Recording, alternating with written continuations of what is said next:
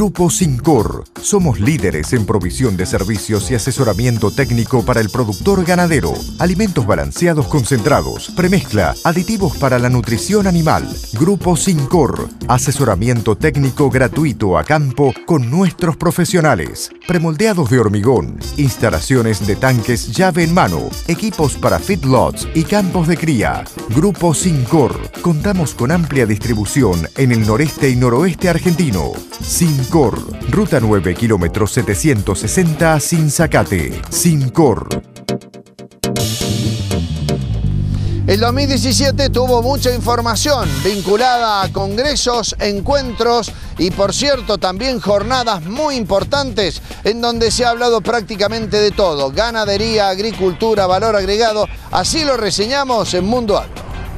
Señor productor, los medicamentos mal empleados en el ganado pueden afectar la calidad del producto, la salud de los consumidores y restar mercados. Para evitarlo, es muy importante consultar con su veterinario antes de administrar cualquier medicamento, respetar los periodos de carencia y no enviar el ganado a faena antes del plazo estipulado. Con la ganadería, ganamos todos. Instituto de Promoción de la Carne Vacuna Argentina. Llega al norte cordobés de Color Pinturerías. Colores preparados a su gusto. Todo tipo de pinturas para obras sintéticas e industriales. Somos Kimex, especialista en impermeabilizantes para techos y ladrillos. De Color Pinturerías. En Jesús María, Pedro J. Frías Norte 231, esquina San Luis. Guillermo, primero que nada, felicitaciones. ¿Y cómo te preparas para encarar este desafío? Bueno, en realidad estamos de fase del momento cero. Estos últimos dos años he acompañado a Germán Divela en su presidencia. Eh, o sea que la preparación es, más que preparación, es un sentimiento de FADA. Eh, tenemos la cultura de FADA. eh, porque nace de la mesa de todos los socios fundadores, entonces sabemos dónde dirigirnos.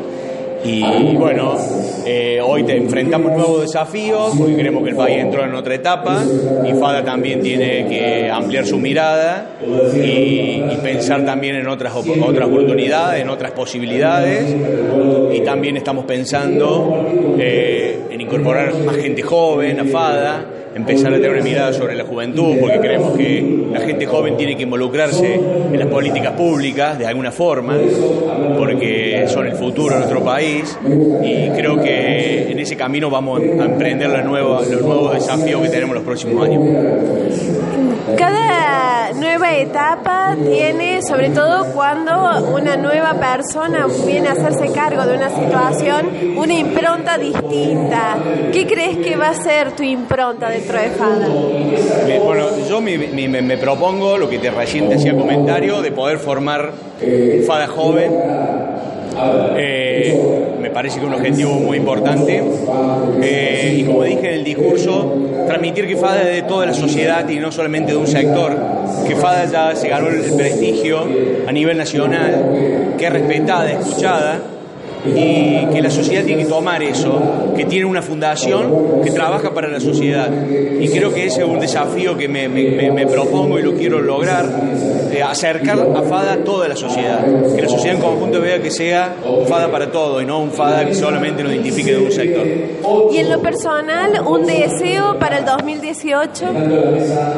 En lo personal, eh, siempre uno eh, más grande se pone, más se preocupa por lo que, cómo va el país, ¿no? O sea, uno a veces, cuando era joven o estudiante, no tenía ese grado de conciencia por dónde iba hoy el país. Y hoy que uno ya es grande y tiene hijos grandes, entrando en la adolescencia, te empieza a preocupar sinceramente. Entonces, decir, che, ¿Por qué no empezamos a preparar gente más joven todavía que tome conciencia que, que la única forma que modifiquemos las cosas es todos juntos? Que no podemos seguir crean- cre- creyendo que por más que tengamos buena dirigencia y que venga dirigencia nueva con nuevas propuestas, van a modificar la estructura, la matriz importante del país. Tenemos que entender todo como sociedad que la única forma de modificarlo es que todos nos involucremos, de alguna forma o de otra. Cefar, compromiso con el campo. Cefar, somos PLA. Repuestos y servicios. Cefar Riego, todo el respaldo en sistemas de riego. En Sinzacate, Cefar PLA, Cefar Riego. Y después de esta información compartimos una breve pausa comercial. En instantes, más información en Mundo Agro. ¿Sabías que detrás de los alimentos de nuestra mesa está el campo? Proteger los cultivos es fundamental para que tengamos más y mejores alimentos.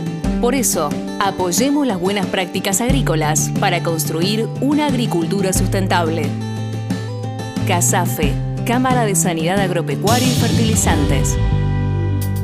En las últimas campañas, los informes que veníamos realizando eran relacionados a los excedentes hídricos y a la superficie de los cultivos que prácticamente se perdían o sufrían alguna asfixia radicular debido a tener la napa cerca.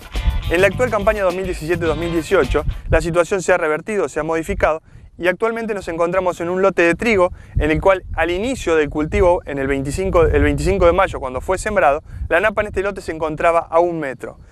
En la actualidad, o mejor dicho, hace unos días, antes de la cosecha de este cultivo, la napa en este lote se encontraba a 2 metros 45. ¿sí?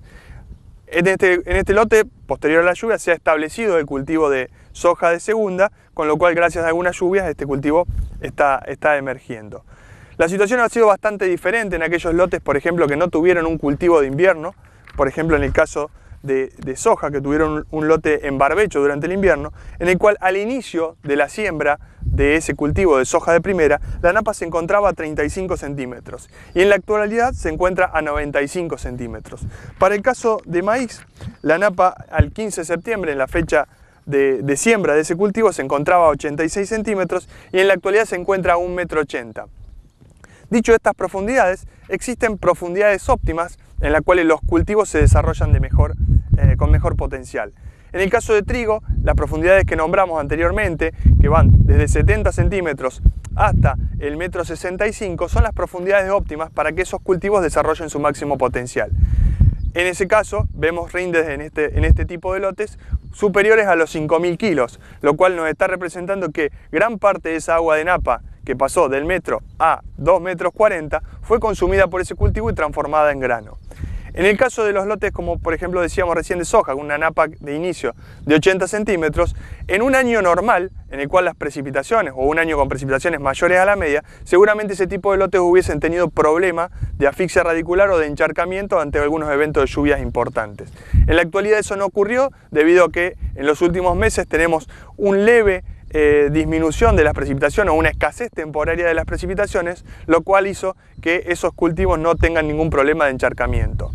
Ahora, ahora bien, estamos ante un escenario niña en el cual se esperan precipitaciones inferiores a la media, o mejor dicho, se espera que ocurran una escasez temporaria de las precipitaciones en algunos periodos de cultivo.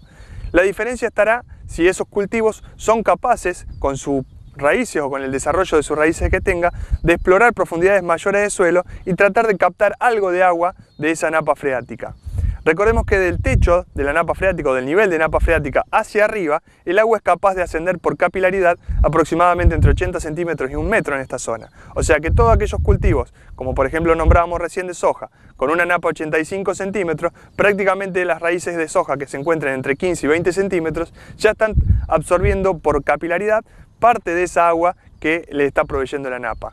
Esto es válido y es importante para saber que, eh, o muchas veces vemos que en estos periodos que faltan las precipitaciones, estos cultivos no están denotando una escasez de agua, no están denotando un estrés hídrico, debido a que esa napa freática se está comportando como una oportunidad en este tipo de año en el cual las precipitaciones escasean.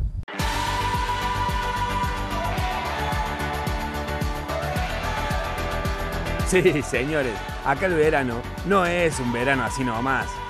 En Córdoba, el verano es un veranón.